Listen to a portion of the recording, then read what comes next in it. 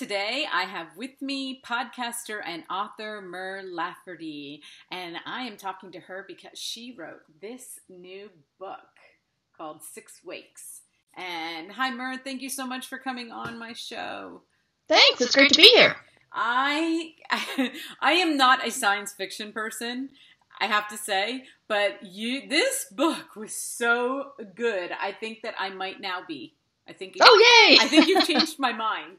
I mean, I and you know what's awesome is that I don't know if you've ever heard of Roz Morris, but she is also she's like an indie author, but she was right. She wrote a science fiction book that I read, and I was like, how? I mean, maybe you get this all the time, but like women writing science fiction, this is the this seems like a new thing to me. Nope, not at all. No.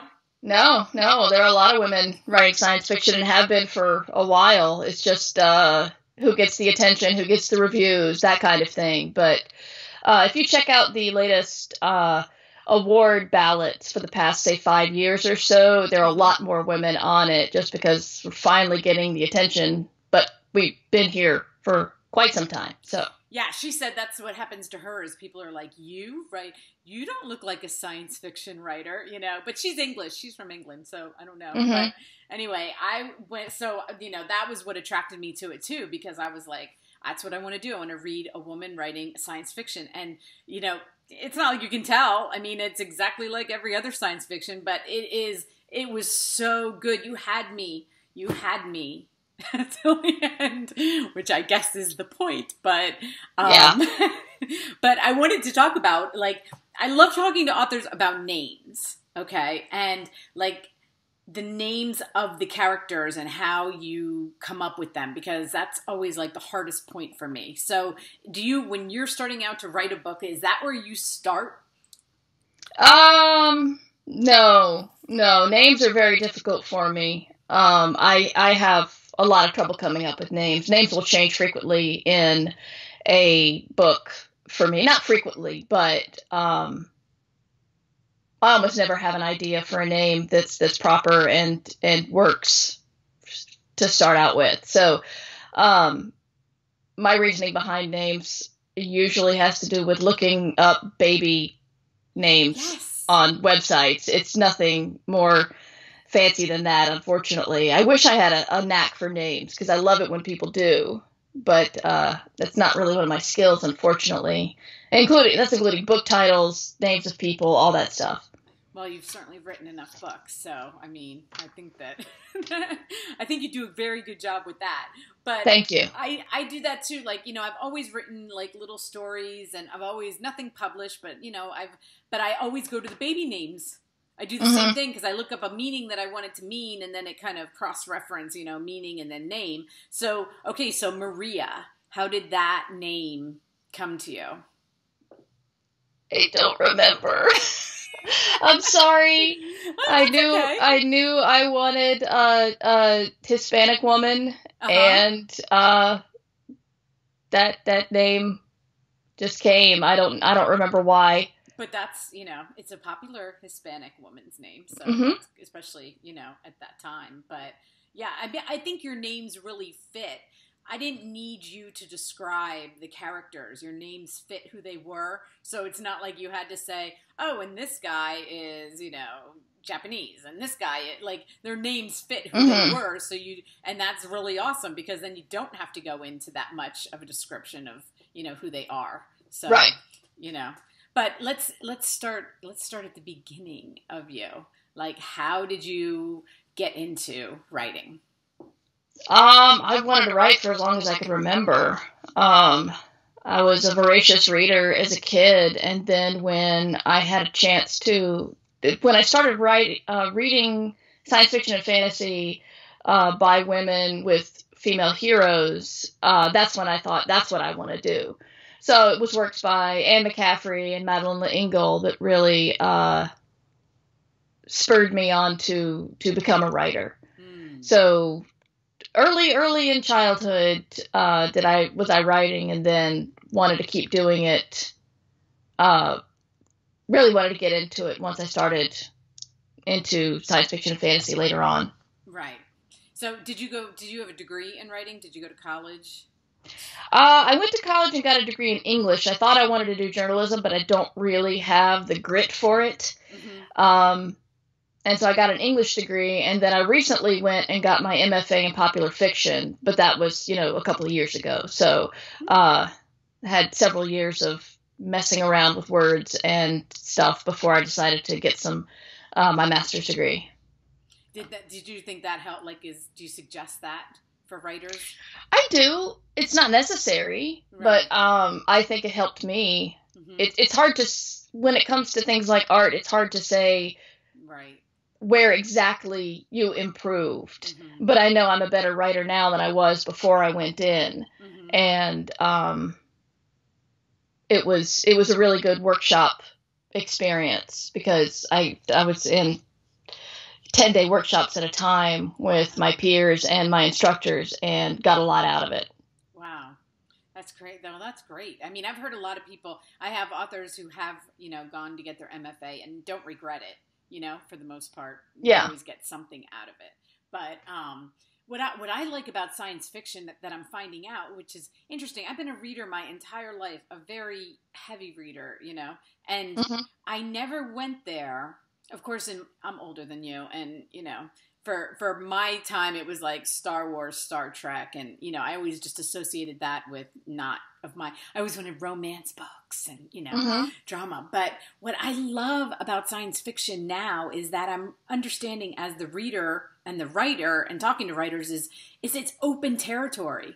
You can just make it. I mean, it is your world to mm-hmm. make, and that is what's awesome about it. You know, yeah. with your imagination, you can come up with your own world. Yeah, yeah, that's that's one of the exciting parts about it. Yeah. Um, most science fiction tends to reflect things that we're going through, and it you know so it often reflects social things going on in the world at the time of the author's life.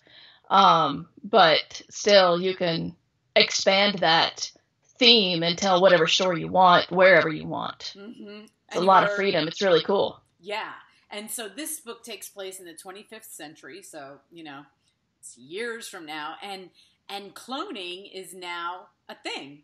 Like and then, and I love that because you know we're we're coming up into science where clothing cloning is becoming something, and and we don't know we don't know what's mm-hmm. going to happen with it. But I love that you explore the trouble that we can get into, like as as amazing as it seems like it could be, you know, the trouble that you get into when you decide to clone human beings. Yeah, it's a big it's a big ethical thing, and another piece of the technology in the book, which we can't do as far as I know, is um, you take a, a when you copy the genome, you also take a copy of the person's mind map, which is all their memories and their uh, mental makeup. So you when they get recloned, they can be exactly who they were when you recorded it. So, um, and once you can record that, the next step would obviously be hacking that, and you can hack it for better, such as to fix a genetic problem, or hack it for worse, such as you know, if more cosmetic things. And if it's your own choice, it's one thing. But uh, in the book, parents start quote unquote fixing their babies and that gets a lot of people very angry and so that kind of hacking becomes illegal because of those people who are unscrupulously hacking uh, children. Right.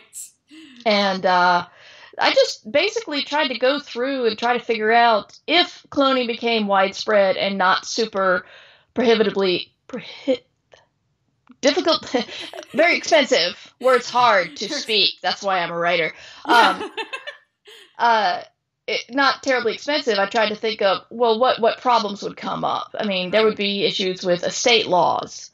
Um, you know, if you if you keep cloning yourself, then if you ever had children, they wouldn't be able to inherit from you, and that might make them angry. And so I, I just tried to figure out all the things that would go wrong and what they could, um, the laws they would pass and then, of course, once laws are passed condemning something, people who like to do that thing are going to be pissed off. So it's it's uh that kind of got the whole political aspect of it rolling.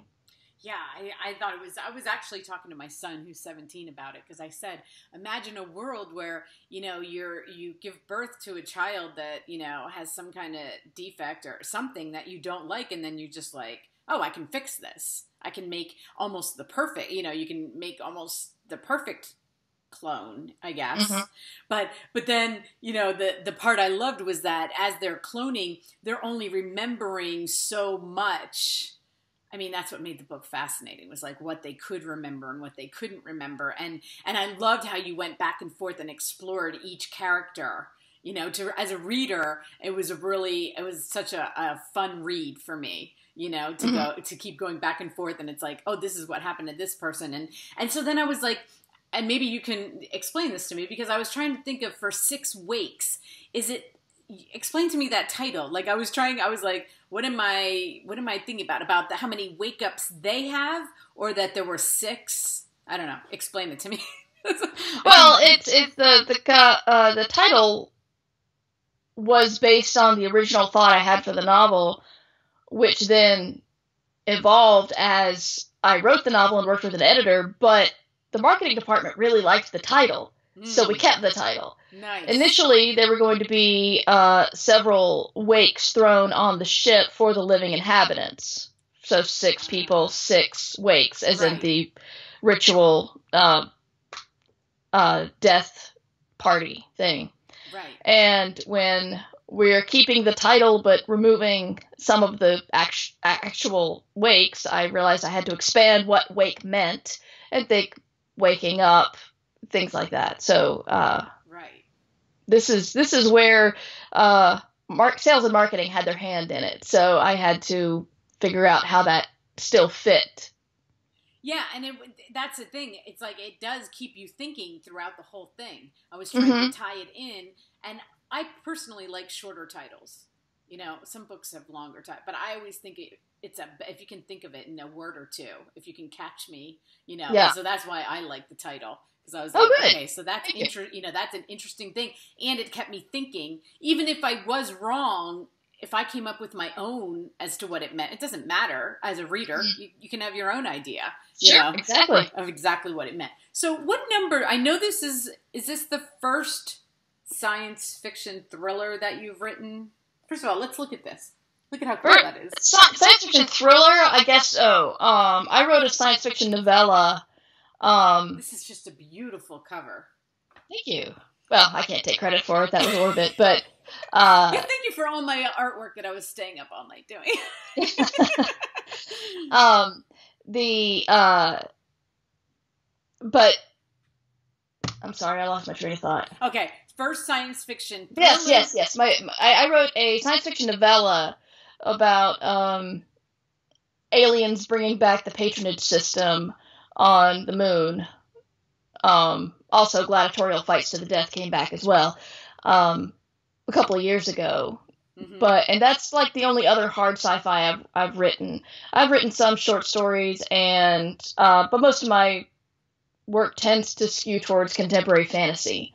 Mm-hmm. But um, I like I like science fiction, and um, really liked writing this one. So I'm probably going to keep with it.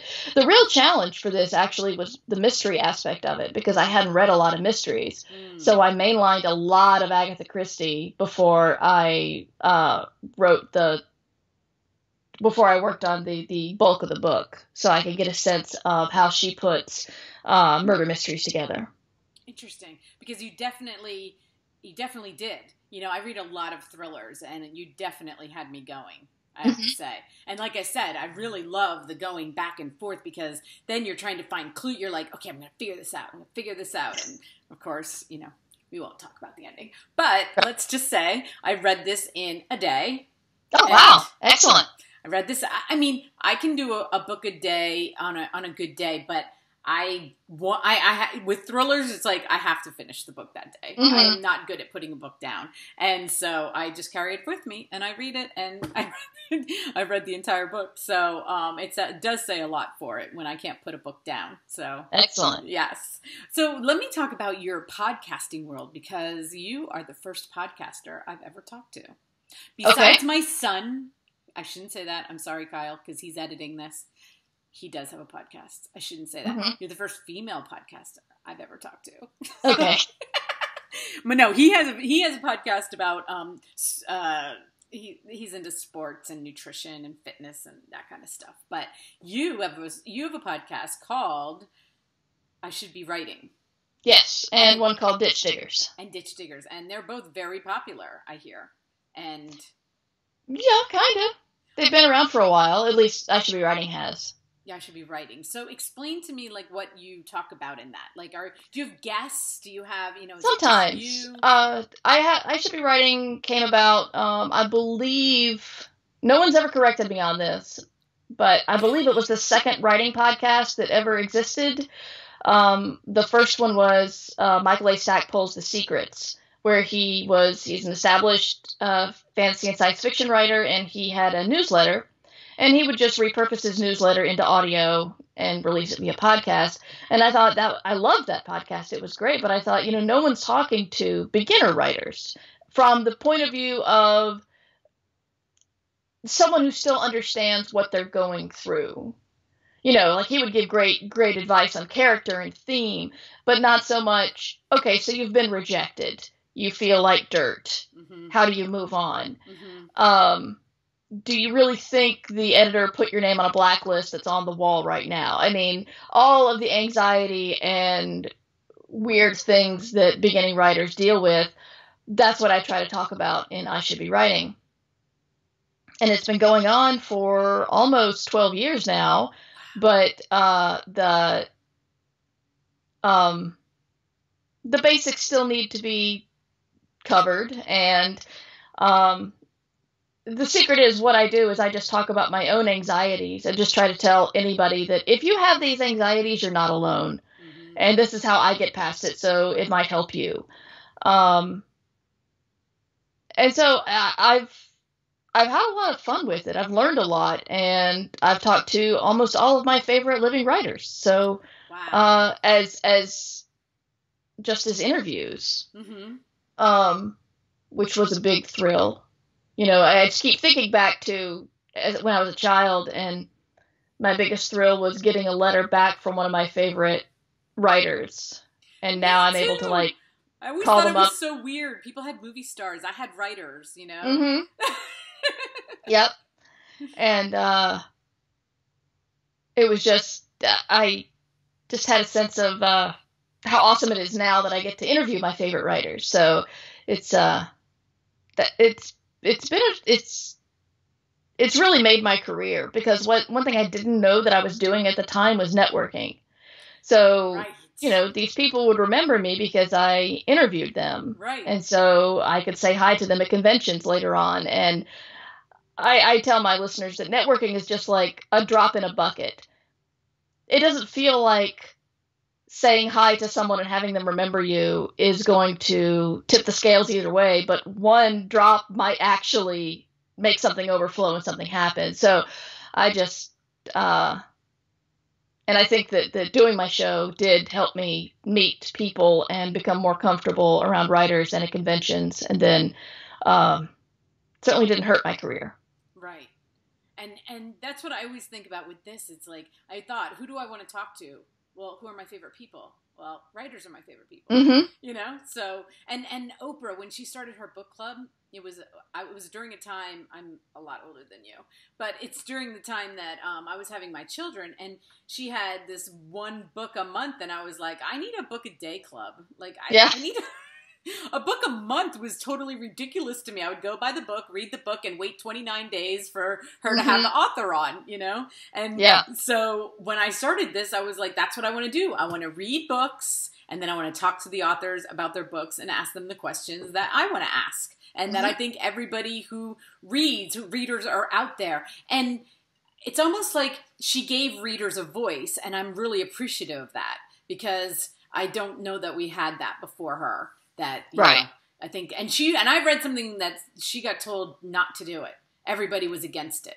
That she really had to fight the network at the time to have that in her Mhm. show, and so I'm really appreciative because I think it did open it up. That authors became people that we saw on TV, and that they were, you know, they weren't just behind a book, you know, like they were at that at that time. So I, I didn't know that. That's really cool of her. Yeah, I know she's. I mean, she's almost everything she's done in her entire life has been amazing. So yeah, uh, I don't know why that surprises me, but uh, no, it's, it's no, nobody wants to see writers. We we we we hide right. behind our closed doors and pound on our keyboards. Right, and she gave and look what she did for authors. I mean, mm-hmm. that's another thing to be so appreciative. She didn't. I, I actually talked to a woman who wrote a book about what Oprah did to for authors. Mm-hmm. Because she worked at a bookstore back in the 80s and 90s, and she said that that the, you know remember when Oprah you, you, might not remember this, but she would have. I really am a lot older than you think I am. I promise. well, she would have a big reveal, like it would be mm-hmm. like on a Friday, and it was like, and the next book is this one, and everybody would like cheer. And the next day, the woman that I talked to from the bookstore, who is an author also, but she said all of a sudden, like that day, they became famous people like here yep. they were just back there writing their book, and then Oprah made them the next day. Not only did their book shoot to number one mm-hmm. the next day, and they couldn't keep enough. I, I hope she gave them notice after time to keep the book in print. Yeah. You know, I don't know how big Kindle was back then, but you know, like it was. It did enormous. It did big, huge things for authors, and what she was be able to, you know, she ch- turned their life around, and I, that's I was always thinking about that in the back of my mind. It's like I want to be able to talk to authors and put their faces on when I can, and you know, and then you do the same thing because you have them on your podcast and mm-hmm. and you get to ask them your questions and pick their brain for all their you know knowledge that I'm sure is very fun to hear. Oh yeah, it's it's awesome to listen to different stories that that authors have. So it's been a real pleasure, and every time I think I need to I've said everything I need to say. Someone writes me and either they've just discovered my show or been very moved by my show and, and say that that just give me the the encouragement to keep going. Yes. So that's that's always really helpful. Yeah, and you you've kind of made up a term that I never heard of. what? And I was looking patio books. Oh, I didn't make that up. No, oh, patio no. book. Uh, those were created by some friends of mine back when we were serializing fiction back in 05 or so. So podiobooks.com is where we uh, serialized them.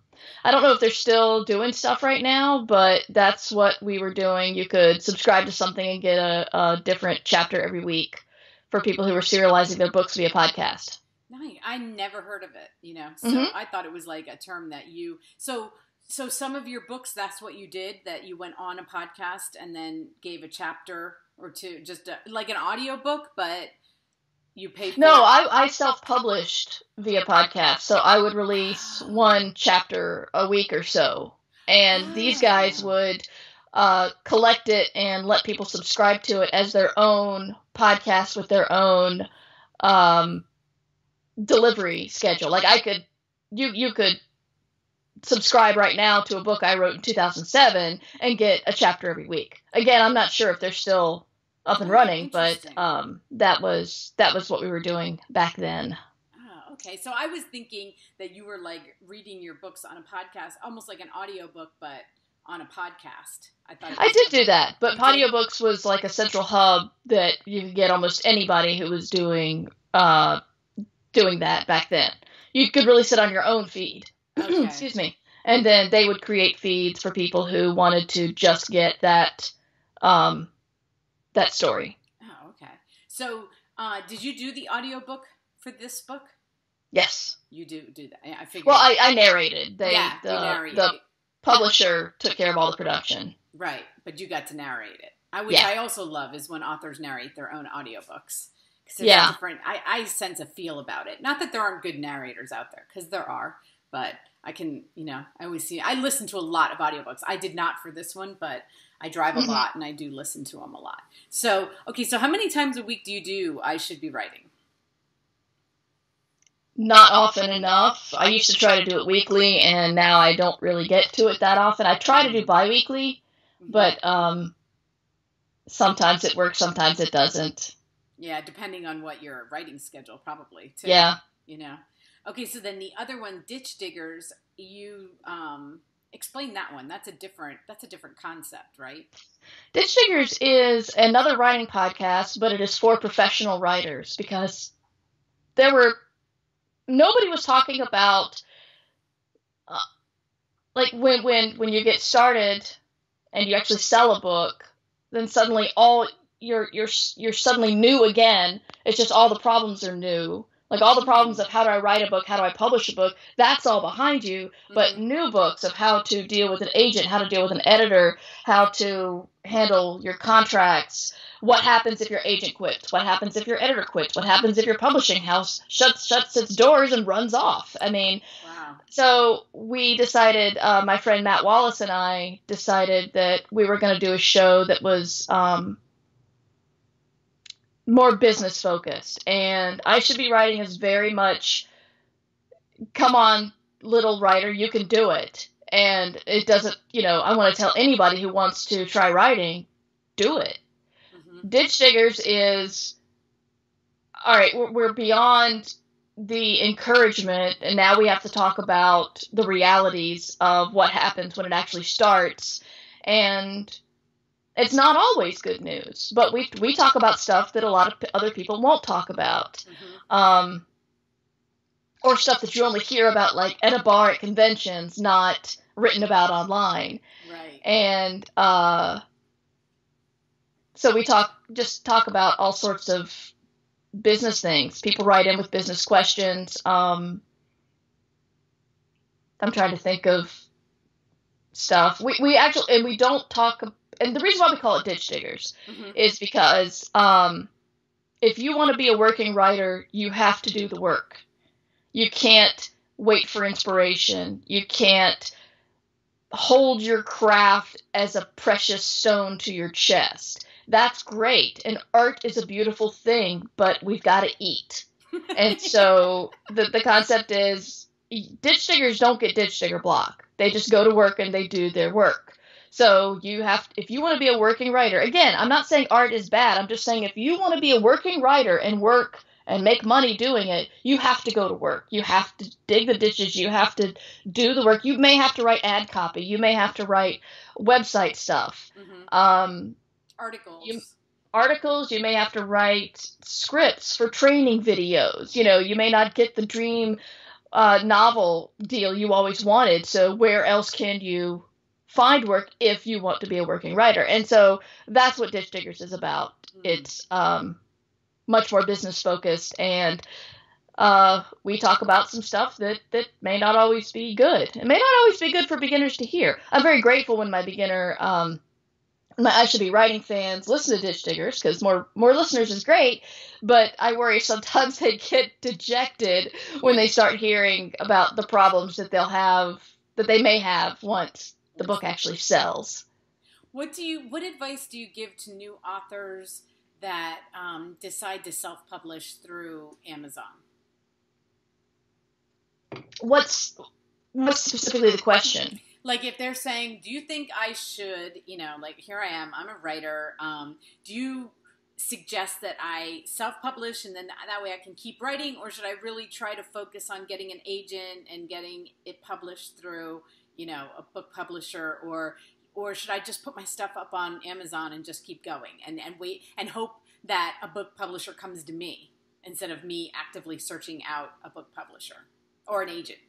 Well, there are two uh, there are two viable ways of publishing, and neither is bad and neither is perfect, and there are good reasons to go with either way. Um, I usually have the people ask themselves, you need to assess the quality of your book, and you need to be completely honest because as much as we hate the fact that there are gatekeepers, the gatekeepers are there for a reason. Mhm. And yes, they have rejected a number of books that went on to be incredible self publishing bestsellers. But I can promise you they rejected a lot more stuff that went on to become self publishing duds, too. Mm. Um, I think a lot of people think that they can skip over Mhm. rejection by publishing on Amazon, and then they will get the lovely rejection of no sales, or they'll get sales and wonderful, honest Amazon reviews Yeah, which is- which is a rejection for everyone else in the world to see. right. So it's it's you're not avoiding rejection if you're self-publishing. Um Interesting. No, that I I asked that question a lot to people, but that that is a very good answer. Like I never thought about that before. Right. You got to you got to think um you know, Amazon makes it easy.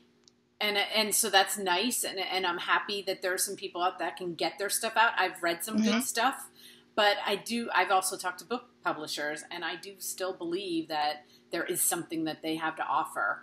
That oh yeah, you know, I, and there are enough of them now, don't you think? Like before, there weren't that many, and now it seems like there's a lot of book publishers out there. You know, I think that the industry has opened up a lot, but you know, they and they want the best for the people that they have. I mean, you know, they they do that. That's why they're there, and um, you know, I, I like I said, yeah, I think you're. I, you know, I talked to both ways, so I just wondered what you are. So some people I talk to, it's like, no, indie all the way. I'm doing it myself. I'm doing it. I'm going to be my editor. I'm going to be my, you know, I'm going to send it to my mom. I'm going to send it to my sister, and. I'm and I'm gonna have them edit it, you know, and then mm-hmm. and they're going to be nice to me and good luck. Right. Uh, exactly. Uh, for me, I I know I can't edit my own stuff. No author can. Um, and there's uh, there's the issue of cover design. I think I'm one of the few people in the world that is completely honest with myself at the fact that I suck at graphic design. I do not think visually at all. Mm-hmm. Um, the only skills I have regarding um, graphic design is I could pretty much always spot a self-published book cover. Yes. And actually, I, I um, the couple of things I have self-published, I've had other people design the covers, except for one thing, which looks like a self-published book cover. But uh, those series that I self-published and had someone else design the covers, I finally I saw a a cover that I thought was a nice illustration. It's not like it was bad art. Right. But I sent it to him and I said, look, I know this is self published because it, it just screams they don't know what they're doing.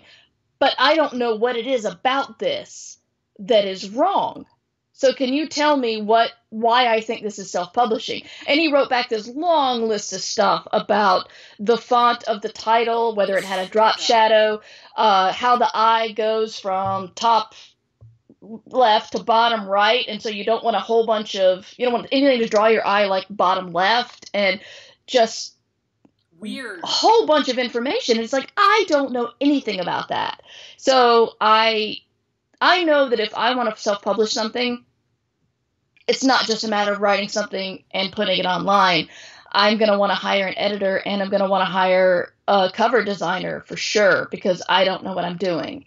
And so then it becomes less of me being a writer, publishing my own stuff, and more me being a project manager, handling a lot of little pieces. And um, that just makes me tired.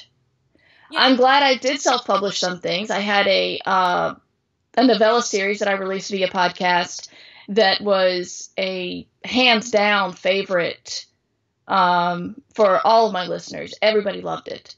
And I had agents interested in it, but no one could ever sell it.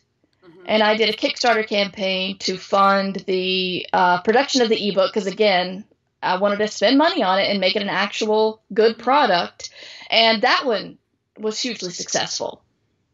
And then another agent got in touch with me and said they wanted to sell the book. And I'm like, go for it. It's not going to sell. And it never did. Hmm. And this book still makes me money every month. And so that that is a case where I was pretty confident that the self publishing would go okay and it was worth all the extra work I did. But, um, you know, there's some things where I've wondered that if I couldn't sell something, I'm like, should I self publish this? Maybe there's a reason I can't sell it. It's uh, there are lots of reasons they don't buy books. Some of them are they don't know how to sell them. Some of them are they just bought a book like that. And in that those cases, it's like, well, might as well self-publish if it's good. Right. Um, but if the you know, but the reason also may be it's not good enough, and uh, you need to really come to terms with that and realize that all what you need to do is keep writing and move on and get better. Right. And I have to tell you that I will read a book. I never look, okay, to see if it's published. I, I never look. And I, so I will read it. And nine times out of ten, I am right. Okay. When I finish the book, I'm like, oh, it's, it's published. And I look mm. and I'm like, very rarely does a self published book come, come past me that I say, "Oh, this is published," and then it's self-published. And you're right. Mm-hmm. I don't know the reasons why either, but I did have a publisher give me the same reasons when I was interviewing them. I was like, "Why do I know?" Because I can't figure out why. I, you know, it's a half decent cover. It's a, you know, like I'll say, it, but the type looked okay, and it was a half decent, and the margins looked. But then he's like, "Nope, they still don't know that it's this and this and that." And I was like wow, I don't even know that. I'm reading the book and I don't even know that. So, yeah, you know, there are things that they know about how to make it pleasing to the eye, but I am rarely wrong. So there's something about it. Mm-hmm. You know, on my Kindle, not so much. Probably, I, I probably can't tell so much, but sure, that's tougher. That's tougher. But if I have it in, you know, and I am happy it's out there. It's not like I'm not because I have. I've talked to some great indie authors, and oh, sure, you know, I'm happy that it's out there. But um, yeah, you do have to. And I don't read Amazon reviews either because I don't want to be. I don't want to be biased. And a lot of the. like you said, I don't want to yeah. go into it. If I want to read it, I'm going to read it. So I don't yeah. want to hear what they have to say. And I rarely re, you know, if I really, really like one and I want to help the author out, then I do. But I hate that it's, I hate that the authors have to think about it. That's the part I hate. That think about what? Think about Amazon reviews. Yeah, I try not to.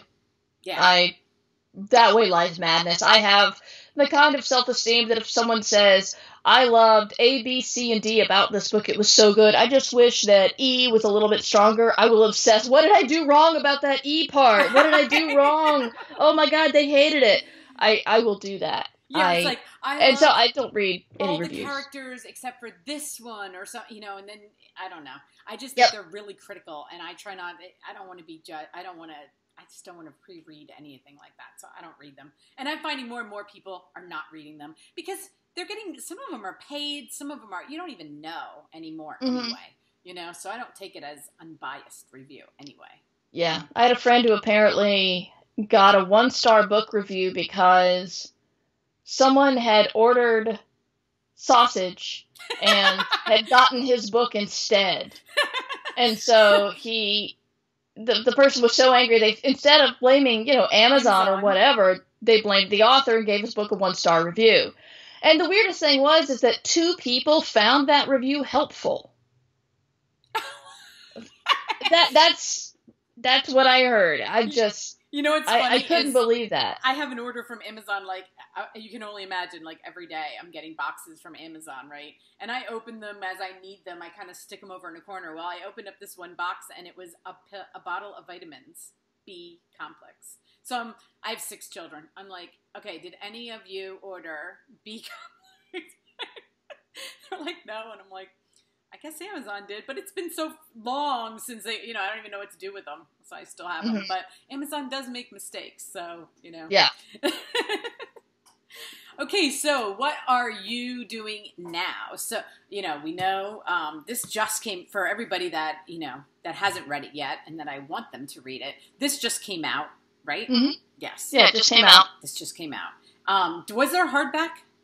No. Okay. No, just trade paperback. Trade paperback. Released uh, January 31st. I so. will buy hardback. If that's why I know that this probably didn't have one because I will buy the hardback before I buy mm-hmm. it. I'm just one of those weird people that like to pay more money for hardbacks.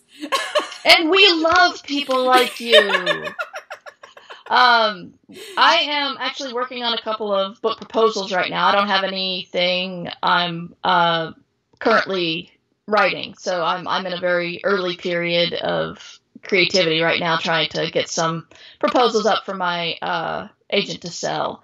I'm working on some short stories and some. Um, I'm still working on the serial Book Burners, which is a project I've been working on for three years with a group of people where we treat it like HBO for ebooks, where we get together and have like a writer's room where we talk about the arc of we use TV language the whole way through. We call it the season, we call each one an episode, but really it's just a 10, 12,000 word story. But each one is self contained, but leads toward a an end result like a TV season. So um, we've got we're working on season three of Book Burners right now, and uh, we'll be thinking about season four soon. So those are the little things I'm working on. Is that where while I'm find that? Is that on YouTube? No, no, it's just it's a it's ebook and audiobook and the first yeah. season came out um the same day as Six Wakes. Actually, it was weird having two books out in one day. Oh, but the first cool. yeah, the first season came out. We uh, somebody brought the bought the print rights, so we sold the actual book uh, this year. Uh, it's called Book Burners. It's like a if you like the librarians or Warehouse 13, kind of a group of people whose job it is to go out and find weird stuff, uh, demonic books or wizards doing not naughty things and shut them down before they wreak havoc. Um, and uh, yeah, that's the that's the concept of it. Oh, that's It's a lot like the librarians, but darker. Yeah, And that's very cool. I did read, and now that you're saying it, I'm like, oh, I do remember reading about that. That's Mhm. very awesome. So when you, like you said, you have a, a child, like, do you, when do you write? Like, if you are in the midst of a book, like, do you have a time frame? Is, is you, do you have, is like, he's at school, he or she, I don't know, do you, what do you have, a daughter? Oh, 14 year old daughter. 14 So yeah, I she doesn't need a lot of. Uh, Yeah, she's a a lot need of- a lot of supervision. The woman, Yeah. I talked to an author this morning. I kid you not, four children under four, set of twins that are one, and that woman is writing books at in the middle of the night. wow. So as a mom, we were both going, "Ah, that's so." Doesn't. I was like, Wow. "Bless you, child. Good job." Yeah.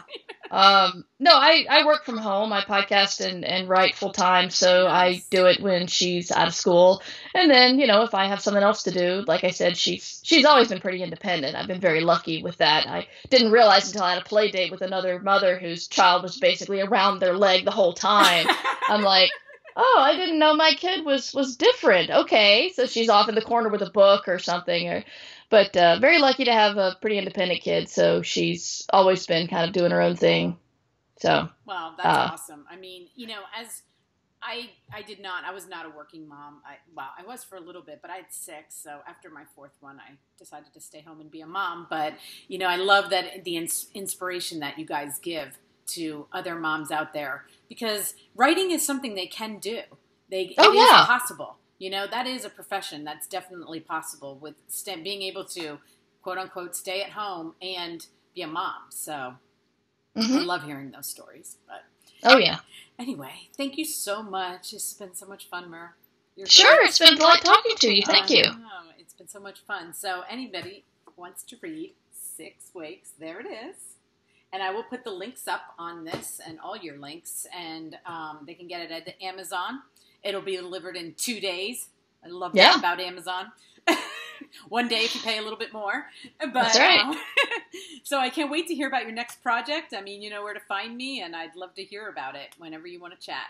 Thank you. I'd love to. Okay. Well, you have a great day. Thank you so much. You too. Okay. Thank you, Michelle. Yeah. Bye bye.